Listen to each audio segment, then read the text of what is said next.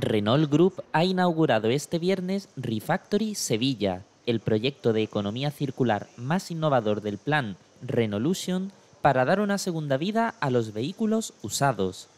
A la inauguración han asistido el presidente de la Junta, Juanma Moreno, y la ministra de Industria, Comercio y Turismo, Reyes Maroto. Esta factoría de Sevilla es eh, el único centro productor de cajas de velocidades híbridas del grupo Renault en el mundo y es también un modelo de un innovador proyecto de economía circular único en España para reciclar, para renovar vehículos y componentes y así prolongar la vida y reducir también el impacto que tiene en el medio ambiente y en la contaminación. Y todo ello sitúa, como no puede ser de otra manera, a Sevilla y Andalucía en un estadio protagonista en esa nueva era de movilidad.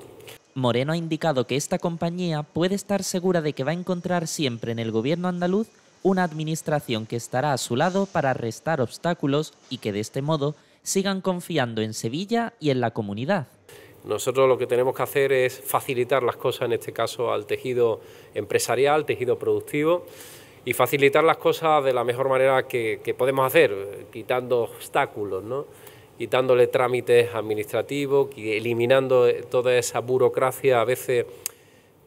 que limita, dificulta, eh, obstaculiza el desarrollo económico.